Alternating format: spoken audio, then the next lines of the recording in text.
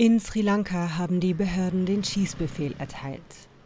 Es ist eine Reaktion auf die tödlichen Ausschreitungen im Land und soll weitere Unruhen unterdrücken. Laut Verteidigungsministerium sind die Sicherheitskräfte angewiesen, auf jeden zu schießen, der öffentliches Eigentum plündert oder Menschenleben gefährdet. Sri Lanka ist von einer schweren Wirtschaftskrise getroffen. Seit Wochen dauern die Proteste an, am Montag waren sie gewaltsam eskaliert.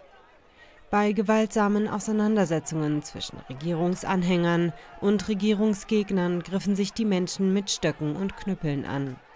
Die Polizei setzte Tränengas und Wasserwerfer ein. Sie verhängte zunächst eine Ausgangssperre für die Hauptstadt Colombo, die später auf das ganze Land ausgeweitet wurde und bis Mittwoch andauern soll.